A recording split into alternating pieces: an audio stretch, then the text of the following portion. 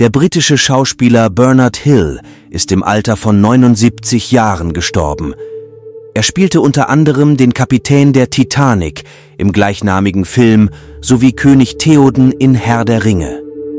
Titanic-Schauspieler Bernard Hill ist mit 79 Jahren gestorben. Das berichtete der Sender BBC mit Bezug auf Hills Management.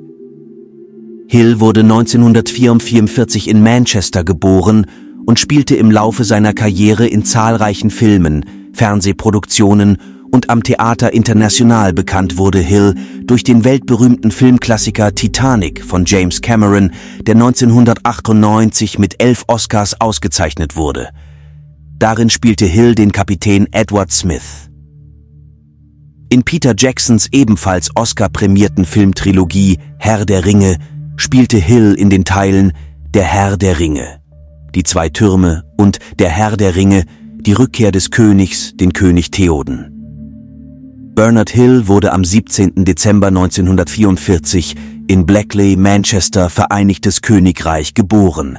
Er verstarb am 5. Mai 2024.